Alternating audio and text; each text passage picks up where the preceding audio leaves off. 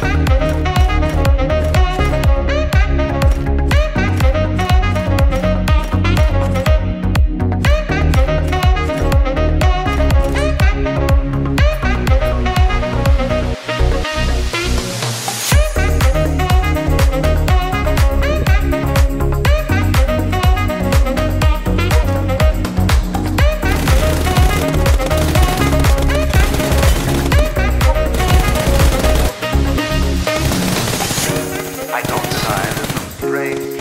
evolutionary process But mankind